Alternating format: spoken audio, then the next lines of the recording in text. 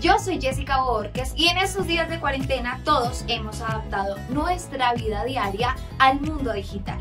Es decir, estudiamos y trabajamos desde casa gracias a las TIC.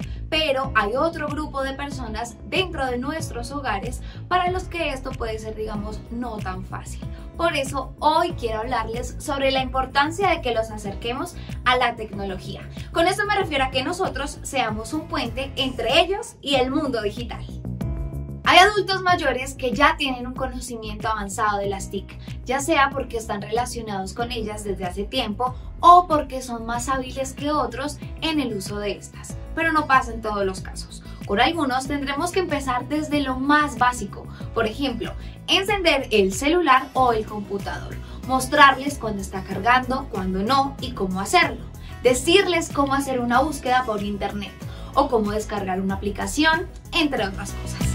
Recuerden, llénense de paciencia y amor para enseñarles de la mejor forma a estos seres tan queridos que tenemos en nuestras casas. No lo olviden, también es muy importante que compartamos con ellos las recomendaciones de seguridad para que naveguen sin riesgos en la red.